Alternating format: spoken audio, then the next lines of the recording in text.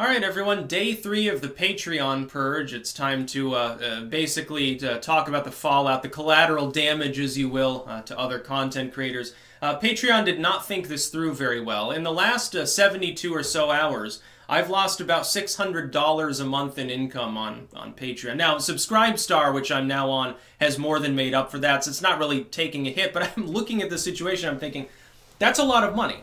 Um, to anyone who's not already fairly wealthy, fucking, uh, what would that come out to in a year? $7,200, I believe, if I'm calculating correctly. I think I am. Yeah, I am. Uh, that's uh, quite a chunk of change. That's like decent used car. and that's like down down payment on a condominium or something like that. So that's a lot of money. That's a lot of rent that you could pay. It's a lot of taxes that you could pay. Um, and by the way, I'm not faulting any of the people that are withdrawing from Patreon, and a lot of them are moving to you know Subscribestar or whatever. I've had people say I should set up a PO box and they'll mail me a check or like ten bucks or something. Uh, and I'm like, uh, maybe. Uh, I don't know. I prefer not to accept mail from from random people. It's a little weird to me because I'm like, hey, someone might mail me white powder or something because I'm a politically active person. You know, eh, the post office won't deplatform you. I know that. And PO boxes aren't that expensive. Maybe I'll set that up. I, I don't know. We'll, we'll see what happens as far as the moral outrage mobs continue.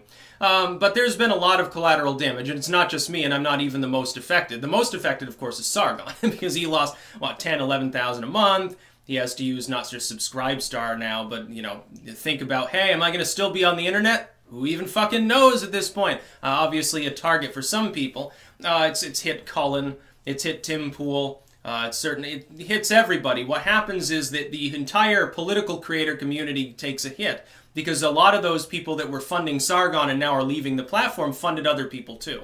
So Patreon Patreon really owes an apology to other creators that have done nothing wrong, broken no TOS. Sargon didn't either, but you know we can get into that separately. Uh, he gets kicked off, and and you know th- probably thousands of people have abandoned the platform. By the way, it's a compounding effect. How many tens of thousands of total dollars moving around are now no longer on your platform? And what cut did Patreon take? How much money have you lost as a company? Companies should be reluctant to stop doing business with any entity that's causing a profit. That's the way uh, business is supposed to work. You're not supposed to be politically active at all. You're not supposed to really. You're not supposed to be a moral actor. You're supposed to grub after money if you're a good company. And if you're not willing to do it, somebody else will. Eventually, somebody innovates a, a, a non-deplatformable uh, tech that will uh, prevent you from being able to do anything about it. You destroy your own company. I hope Patreon doesn't do that because it's a really easy to use service. Someone I've used for a while. It does bring a, a fairly decent chunk of income. I'd, I'd, rather not have to hop platform to platform all the time. I have to get on all the alt tech, alternate fundraising. I'm thinking, well, you know, I'm setting up a fucking PO box Fucking taking snail mail in order to make ends meet is, is something that's now in people's head. It's weird.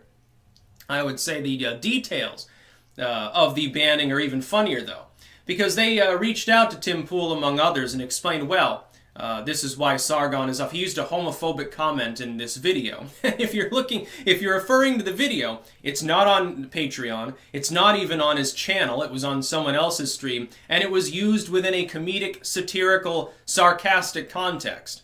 That is so. So what Patreon is signaling, unfortunately, is that, and this is this has affected me uh, differently. I'll I'll get into that as well what they're saying is you can't even like refute bigots or or, refute, or people who you consider to be bigots or or outside of TOS or something. You can't refute people who you consider to be like out there because if you use the wrong language, you get fucked as well. And so all it requires is one or more people who are outraged at the fact that you used it even in a comedic context to get you deplatformed off a site.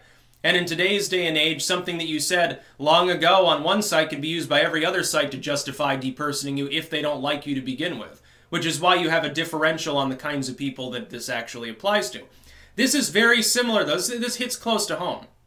In the wake of me debating Spencer, which Sargon was also involved in, I can remember a bunch of leftists jumped down my throat as though I was hateful because I didn't sit there red in the face and, and basically tell him to fuck himself. Like the fact that I was able to have a sane debate and differentiate what I believe in from what Spencer believes in, and he's by far not the most out there identitarian either. I don't see him calling for violent revolution and crazy shit uh, on a regular basis. I debate him. I don't agree with him. I'm debating him on political topics. I fail to be angry enough, and the far left says, well, you were too conciliatory. You're a secret Nazi enabler because you get on there and you have this big ass stream, and he's, you know, potentially making money from it and stuff. When the Data Society report came out, that, that famous defamatory hit piece claiming that Bunty King is the next, you know, Heinrich Himmler or whatever, when that came out, uh, they, they mentioned that debate in the first paragraph. Don't even mention my username. I wonder why that could possibly be. Could it be that a person with 666 in their username doesn't fit in with the normal stereotypical mold that they're seeking to project on the creator community as a bunch of people who, as, as a bunch of people who are like really, really politically far out there, like on the way, way far right? And then I'm looking at the list of names. I'm seeing like this person's a libertarian, that person's a liberal. This person isn't even really political. You know, they just happen to, do the internet blood sports thing. They don't even really give a fuck about it. They're there for the dumpster fire. It was hilarious, and this has happened over and over again. Yeah, lesson learned. I learned my lesson. Don't bother to debate the identitarians because you're not going to win any favors from the left.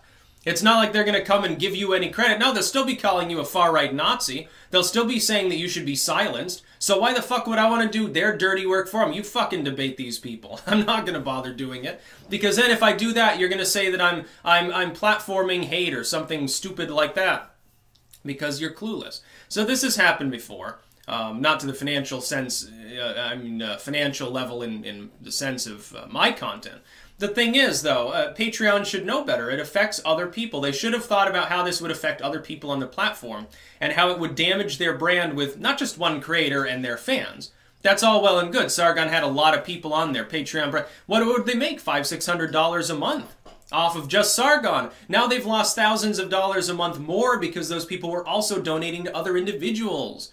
They were interconnected. The fact that Sargon was making, you know, the, the lion's share of that money doesn't mean there aren't dozens or hundreds of other people that had people that were that were donating to them that now are no longer on the platform. Some of them moved to Subscribestar, some of them are begging me to make a PO box, and some of them probably just rescinded their pledge. They're like, "Fuck it." And I understand the hesitance. By the way, as an aside, people have brought this up because of what happened to Maker Support, which appears to have been a scam, let's face it, and Hatreon that was deplatformed because it got flooded by, you know, people, the Daily Stormer crowd maybe. Uh, I understand people's hesitance to trust their platform. I'm waiting to see what happens, and Gab with Torba are planning a fundraising platform. Now, Gab has shown remarkable resilience to all forms of deplatforming.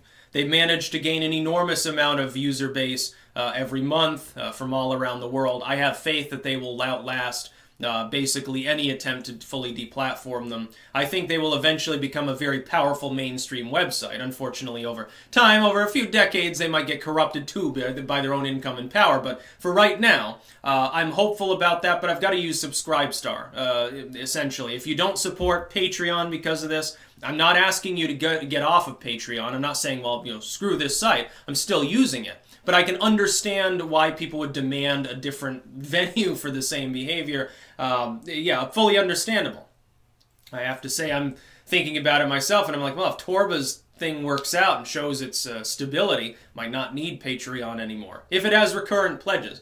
Um, that's a big thing. I hope that Torba keeps that in mind. If you just have a tipping service or, or a subscription service where you have to offer something extra on the side, a little bit different, generally speaking, than just being able to solicit small donations or something, uh, which you can do. You can set up tiers and stuff on Subscribestar. It's actually innovative. That's why I think it should be able to you know, prevail as opposed to Maker Supporter again, Hatreon. Hatreon, which still um, that wasn't a scam. They they did do the final payout for me. Uh, it's just that their site went kaput. It has no one to process payments. it has no way to actually transfer money. Uh, we've seen that banking has been weaponized. I wonder how many people are actually comfortable with that. That's about all. Peace out.